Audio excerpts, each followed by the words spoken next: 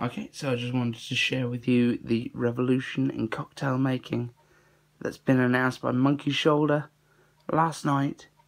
Uh, I was at the uh, Happiness Forgets in Hoxton Square in London to pick up my Konga shaker.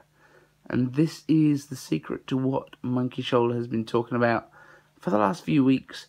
It's something that's not really been produced since the, uh, the 1930s and it's a classic cocktail shaker uh, with a rotary action. So we're going to take a good look at this.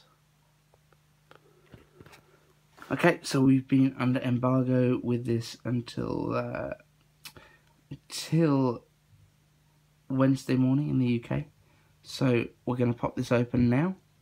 Um, and obviously this video won't go live until Wednesday morning. But just to give you a quick unboxing look so it's a Konga shaker invented by Chromex, remastered by Monkey Shoulder, and uh, some cool kind of retro feel on the packaging there.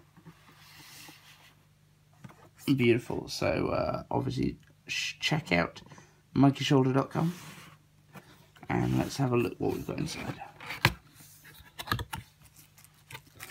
So inside, pop this open. And this one there we have it. So this is our Konga shaker.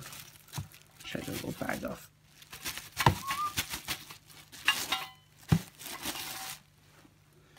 Beautiful.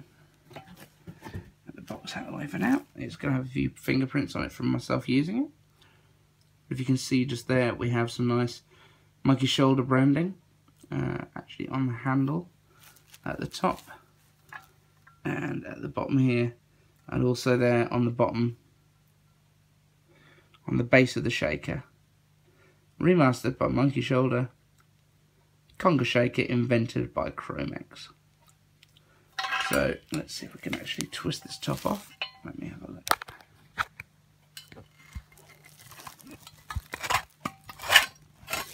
So we've got a nicely well attached uh, top here.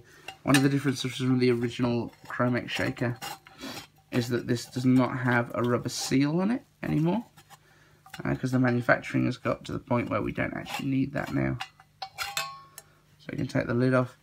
Uh, second difference we have here is that the Chromex shakers did have a uh, they did have an angled um, strainer on the top here with this new style, with a little bit of practice, you can get it to the point where you can actually hold the whole thing upside down and the uh, the meniscus will hold everything in and you can ba basically bounce pour this. So give that a little twist. That comes off and you'll see we have a huge capacity in these things. It's not like a, a kind of thermos wall um, it's a nice thin wall so you can actually feel how cold your cocktail is. And, uh, and, and make sure everything's down to temperature before you pour it. So uh, that is a quick overview of the Chromex style Konga shaker. And obviously you'd hold it by one handle, hold it by the other handle and give it a good rotate. Um, and rather than shaking your cocktail, you'll be rotating it around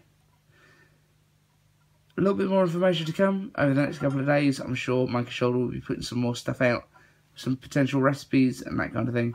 But for now, that's a quick look at the Chromex uh, Monkey Shoulder Revolution in Cocktail Shaking Shaker.